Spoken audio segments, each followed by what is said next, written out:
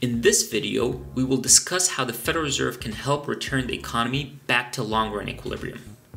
There are two possible scenarios for when the Federal Reserve would interfere. First, in the event that the economy is in a recession. Our ASAD graph would, would indicate that the short-run equilibrium is to the left of the long-run aggregate supply curve.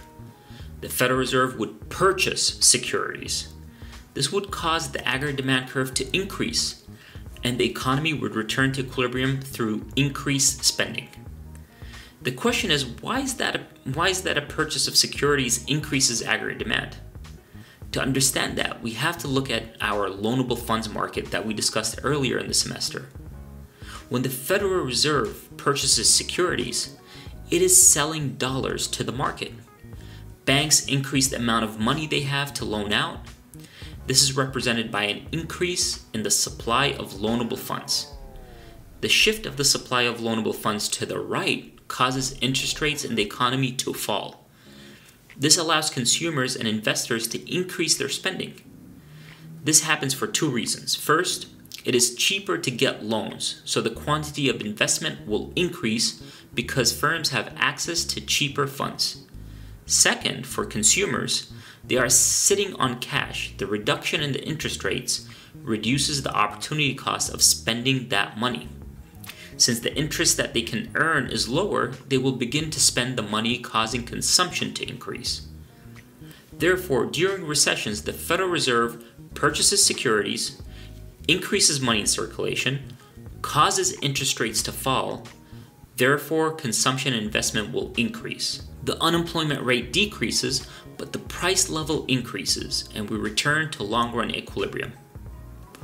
On the other hand, an economy in expansion, as represented in this graph, will require the Fed to reduce the aggregate demand curve. They will do this by taking some money out of circulation. To do that, the Fed sells securities, meaning that it's buying dollars. That causes a decrease in the supply of loanable funds in the loanable funds market, it would cause the supply of loanable funds to shift to the left. Interest rates will increase. Quantity of investment will decrease due to the higher cost of capital. Consumption will fall because the opportunity cost of consuming will increase. Both of these changes will cause the AD curve to shift to the left. The economy once again returns to equilibrium. Price, price levels fall in the economy and unemployment increases so the Federal Reserve can help get the economy back to equilibrium. However, the effectiveness of monetary policy will vary on some dimensions.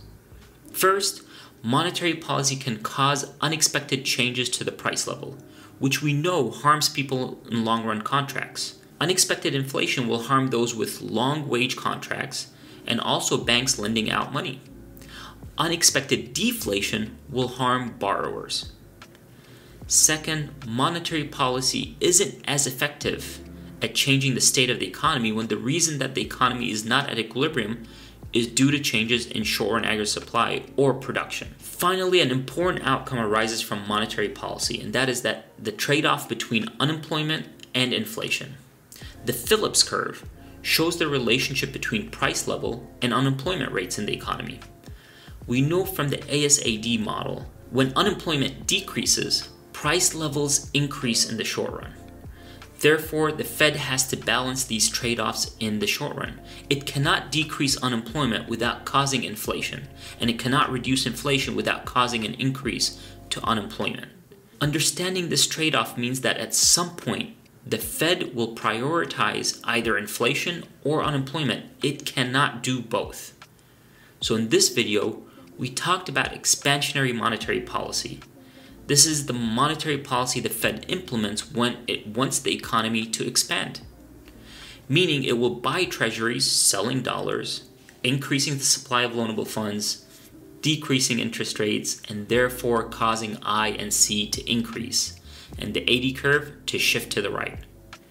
Contractionary monetary policy is implemented when the economy is growing faster than it should, and the Fed wants to slow growth. The fear here is growth may lead to an increase in inflation, and the government does not want to deal with runaway inflation like some other governments had to deal with around the globe. Too much money in the economy can lead to exponential growth in inflation rates. the Fed would be interested in reducing the amount of money in the economy. It does so by selling treasuries, which means it's buying dollars. That causes a reduction in the savings uh, in the loanable funds market, which then causes interest rates to increase. The quantity of investment falls, and so does consumption.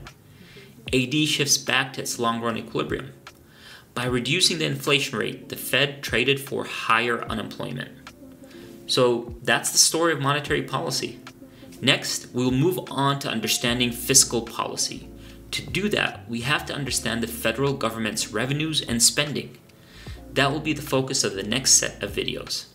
Remember, if you have any questions, reach out. Do the problems, they will help with this chapter. See you next class.